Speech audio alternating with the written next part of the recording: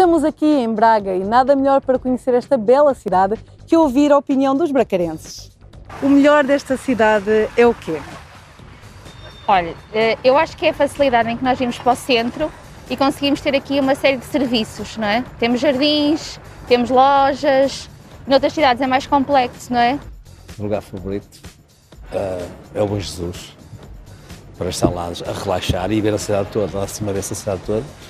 Que conselhos é que daria a quem vem viver cá e quem sabe também trabalhar? Aproveitar para conhecer a cidade, os nossos monumentos, a gastronomia, temos restaurantes belíssimos, cafés, planadas. Também conhecer lá o estádio e ser apoiante do Braga. Qual é o seu trabalho de sonho, se não for o atual?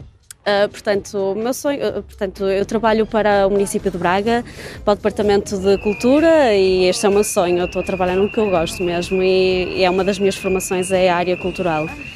O meu emprego de sonho era viajar. Era uh, ser piloto aviador, comercial, claro. Estamos aqui em Braga. Estamos aqui em Braga. Estamos aqui em Braga.